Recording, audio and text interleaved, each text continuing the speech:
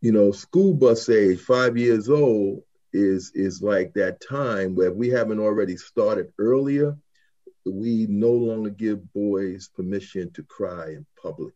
You tell a two-year-old boy to stop crying, you're in essence telling him to stop feeling. Yeah. Because you know, cognitively speaking, you know, when he's happy, he smiles and, and laughs, and when he's sad, he frowns and cries you know, cognitively speaking, he doesn't have much more than that. So you tell a two-year-old boy to stop crying and you start locking in on that. You are in essence telling him to stop feeling. And at such an early age, he is being taught, conditioned maybe more so, uh, to not be his authentic self.